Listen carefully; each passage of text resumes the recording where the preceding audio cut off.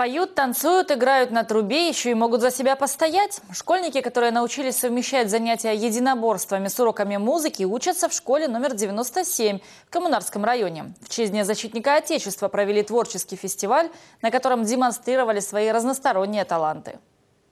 Время. Fight.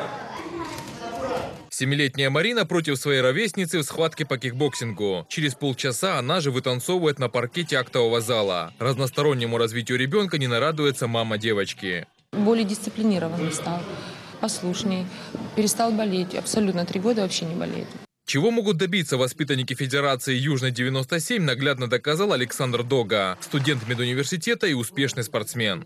Бронзовый призер Европы и обладатель двух золотых медалей Кубка мира 2012 года. Он э, как бы стал более э, пов- пов- повзрослел, помужал, э, как стал самостоятельным. Он чувствует себя как мужчина. Главное верить в себя, главное участвовать в соревнованиях, идти вперед, вперед, не останавливаться.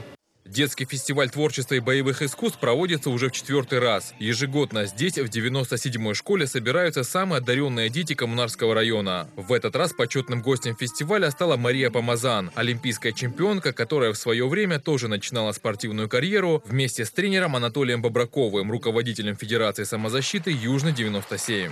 Дало дисциплина, то есть понятие, что такое тренер, что такое соревнование, даже очень так, чтобы не бояться. Также дало физическую подготовку.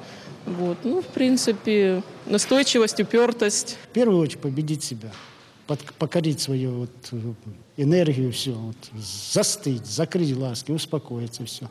И э, основа всего лежит это самоуважение. Я все время детям говорю, если вы начнете, будете себя уважать, вы никогда не сделаете так, чтобы о вас подумали, допустим, негативно. Здесь мы видим школа, которая принесла нам и олимпийского чемпиона, и победителя европейского соревнования. То есть здесь уровень подготовки находится на очень высокой степени развития. За развитие детского спорта и творчества руководитель клуба и его воспитанники получили грамоты от имени городской власти. А для всех гостей фестиваля юные спортсмены провели показательные выступления.